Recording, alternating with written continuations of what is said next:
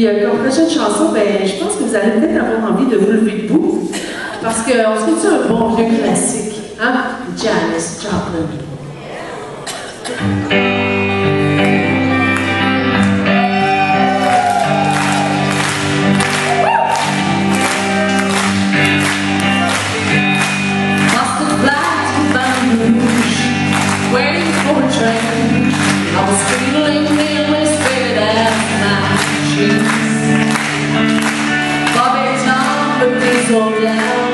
Just before it rained. It rode us all the way to the